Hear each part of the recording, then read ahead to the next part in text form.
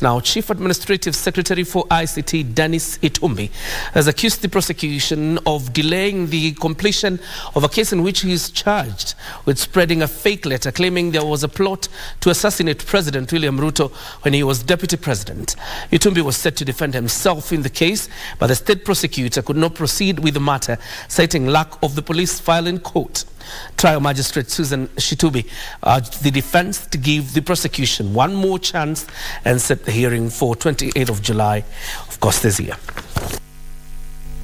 CS Dennis Itumbi and his co-accused Samuel Gateri appeared before trial magistrate Susan Shitubi on Wednesday ready for the hearing of his case of spreading a fake letter claiming there was a plot to assassinate the then deputy president William Ruto. Because now uh, it seems the trial will go to almost uh, towards the end of the year because now uh, going by her submissions, the file will not be addressed this week, not be addressed She's addressing Through his lawyer Adrian Kamotho, Itumbi blamed the prosecution for applying to adjourn the case, terming it a tactic by the state to delay his case on allegation that there was no police file in the court. She is present without a file. The defense is ready on its part. If the prosecution wishes to proceed without a file, it should not be an issue that would affect the rights of the accused. You know, this is a court of justice. We also don't just force.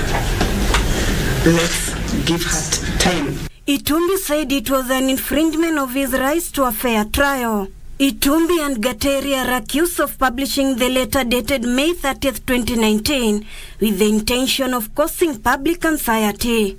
Elsewhere, a woman has been sentenced to one year community service after she was convicted of trafficking bang worth 63,930 shillings on 17th October 2019.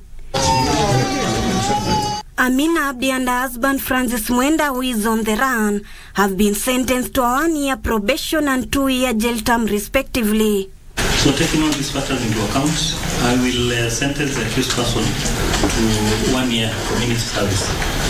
Trial Magistrate Bernard Ochoi, however, ruled that Amina was suitable for non-custodial sentence since she is a first-time offender and has a young toddler. Ruth Wamboy for Prime Edition.